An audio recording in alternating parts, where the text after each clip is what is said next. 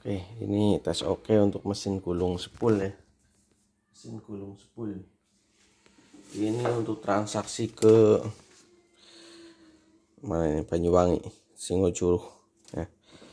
Ini kita sudah tempelin ya. Ini jangan dibuang. Kalau transaksi sudah selesai boleh dibuang terserah. Ini untuk menghidupkannya adalah ini. Ya, hidupkan mesin tapi belum muter. Pencet ini. Nah, kalau spoolnya penuh dia akan mati sendiri gitu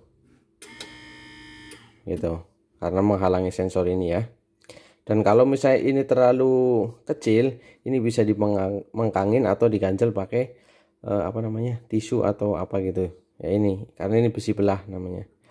Jadi bisa dimengkangin bisa dikincupin. Nah kalau isinya mau banyak mau sedikit ini diatur sensornya naik turunnya gitu. Ini kita sudah tes oke okay, berputar dan sensor berhenti otomatis seperti itu. Oke terima kasih atas orderannya